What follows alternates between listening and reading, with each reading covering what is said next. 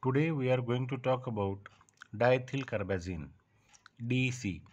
This DEC is a drug of choice in a filariasis, which is caused due to Wuchereria bancrofti, Brugia malayi, and Brugia timori.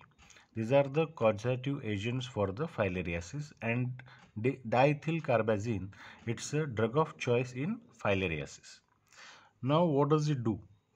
It immobilizes the microfilariae. What does it do? It immobilizes the microfilariae that result in their displacement in the tissues. That result in the displacement in the tissues and also alter their surface structure making them more susceptible to the host defense mechanism. So what does it do? It immobilizes the microfilariae first and because of that there is a displacement in the tissues and also it alters their surface structure making them more susceptible to the host defense mechanism. This microfilariae rapidly disappear from the blood except those which are present in the hydrocele and nodules. This DC, what does it do? Because of the DC, this microfilariae rapidly disappears from the blood except which are present in the hydrocele and nodules. Now, it also kills the adult worms of the loa loa and prolonged treatment can kill the adult Brugia malayi and probably the Wuchereria bancrofti. DC is rapidly absorbed on oral administration and also rapidly metabolized. It will get rapidly absorbed and it will get rapidly metabolized.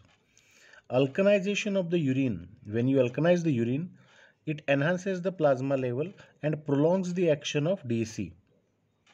Whenever we do the alkanization of the urine, it will enhances what does it enhances? It enhances the plasma level of dec and prolongs the action. And the important thing the dose should be reduced in the renal dysfunction.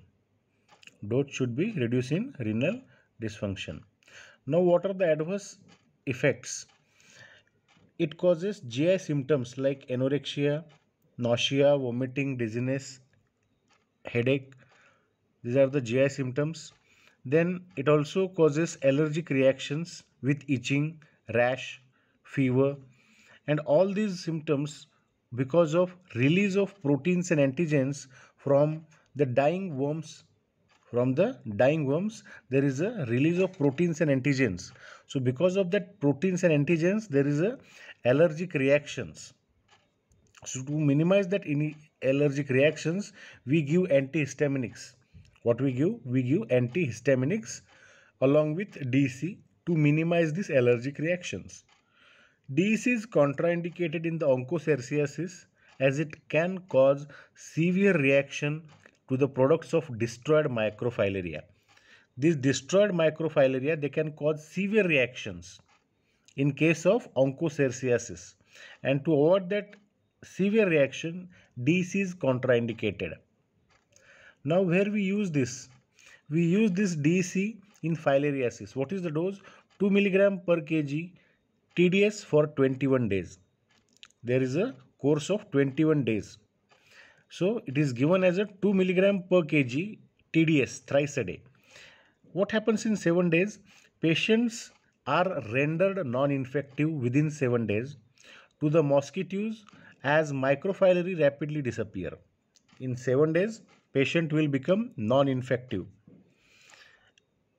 Then adult worms may need repeated courses. In case of adult worms, we need repeated course.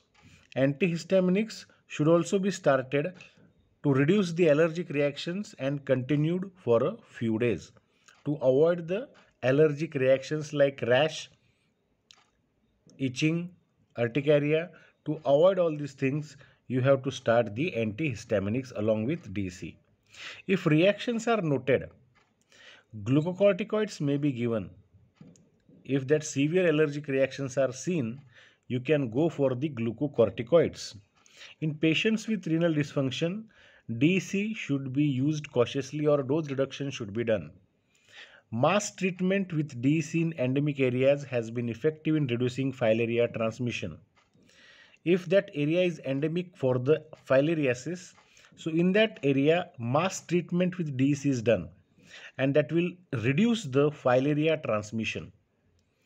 DEC 0.2 to 0.4% incorporated into table salt or given as a single annual dose it is given as a single annual dose 6 milligram per kg along with the albendazole 400 milligram that will reduce microfilaria in the blood. That will reduce microfilaria in the blood.